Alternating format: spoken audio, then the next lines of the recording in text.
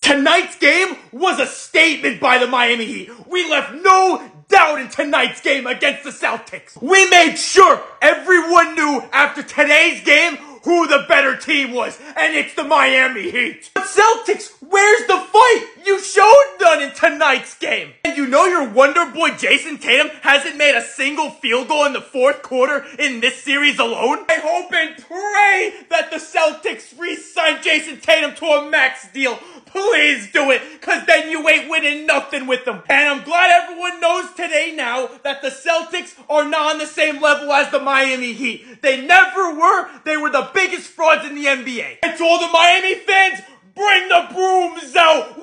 We sweeping these frauds, baby. It's a parade in Summer City. Heat on top.